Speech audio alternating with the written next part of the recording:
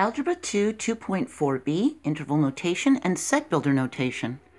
We talked about in the last video how if we're graphing solutions for an inequality on a number line, the filled in dot means it's included. Or we could use a bracket with an arrow pointing to the direction of the interval, the solutions that are included. If it's not included, then it's an open circle, like a zero. Or we could use parentheses.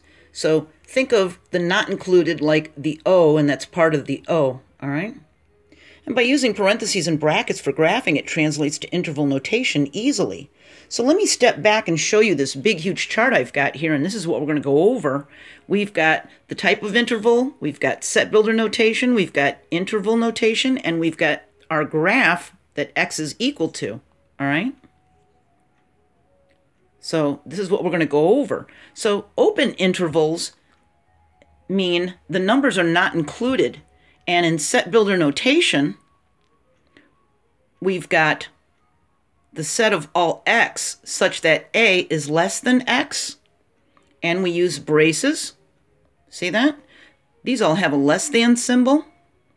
And because the numbers are not included, they've got parentheses around each side for the interval notation. And this is why I said interval notation translates to the graph very easily. If A has a parentheses next to it, that's how it's graphed, see? Or with an open circle with an arrow going in the direction of infinity. And if it's got parentheses on each side, that means neither A nor B are included, and so they both have an open circle. We've got negative infinity and B, and we always put a parentheses next to infinity symbols. So B is not included and it goes all the way forever into negatives. Or we can have an open circle going into the negatives. If all the real numbers are the solution, then we just put negative infinity, positive infinity with parentheses on each side, and our number line goes on forever in both directions. See? If we have a half open interval, then that means one side is closed. It's half open. And if you look, they have or equal to, don't they? Each one in set builder notation has an or equal to. When one side's closed, one side's got the parentheses to show it's closed, but the other side's got a box bracket to show it's open. And that's exactly how it's graphed. We'd have a bracket on one side and a parentheses on the other. But in this case, it's infinity, so it goes on forever. Here for A and B, this is a parentheses, and that's a bracket, and that's how it's graphed, a parentheses and a bracket to show it's closed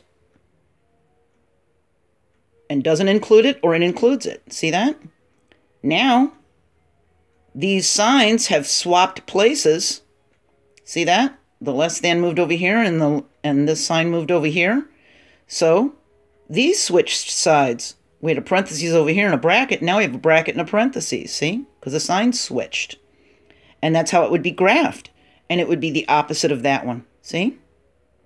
If x is less than or equal to b, if it's or equal to, that means it includes b.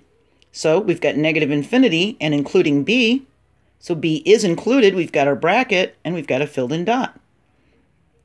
If it's a closed interval, then the numbers on both sides are included and we have it in interval notation with brackets on both sides of a and b. So x is equal to anything in here, including a and b.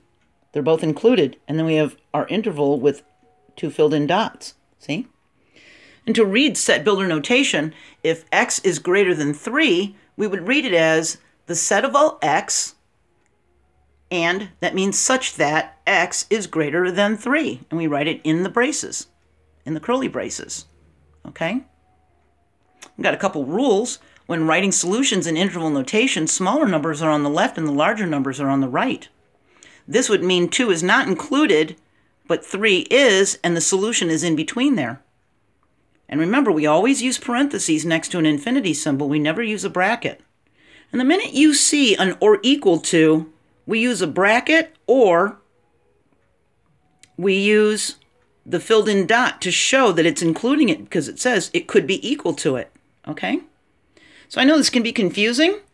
And if you can find a way to help you remember that the filled in dot means it's included and the open one is like a zero, so it's not included. Okay, that might help you. Our next video is 2.4c, and we're going to talk about the addition property of inequality for inequalities. And of course, you can go into the description of this playlist, of this video, and see the Algebra 2 playlist and how it's growing. You can click on it and see the videos that we've done so far to review or to study for a test. Okay? All right. I hope this was helpful, and I'll see you next video. I hope you're having a great day. Bye.